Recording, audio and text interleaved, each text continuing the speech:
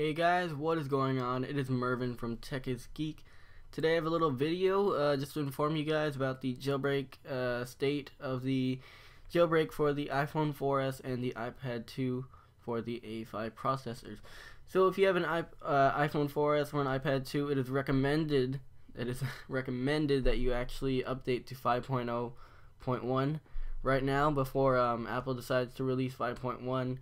Uh, very sh should be out in a few uh, few weeks or so, I believe. So if you're on a uh, 4S and iPad 2, it is recommended that you update your uh, iPhone 4S and iPad 2 right now before they decide to release it. So um, yeah, just wanted to inform you guys that Pod2G, the jailbreak master, um, he said today he has made a step uh, today for the A5.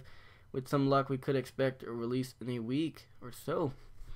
So that is some good news I got for you guys for all you uh, iPhone 4S users and iPad 2 users.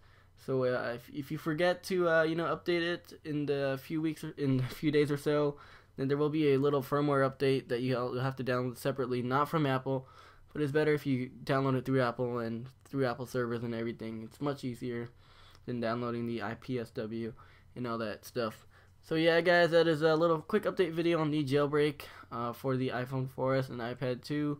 So uh, go ahead and update your uh, iPhone 4S and iPad 2 uh, to 5.0.1, and I'll see you guys in my next video. Thanks for watching, and I'll, I'll um, upload the winner of the giveaway of the uh, Christmas giveaway I had a few days ago very shortly this week.